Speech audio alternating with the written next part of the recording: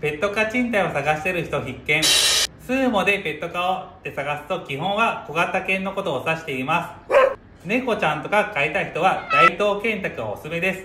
大東建託のペット可は基本2匹まで OK です。なのでワンちゃん2匹、猫ちゃん2匹でも OK です。ただダメなのは体重10キロまで。あとは、お酒とか危ない犬は飼えないので気をつけてください。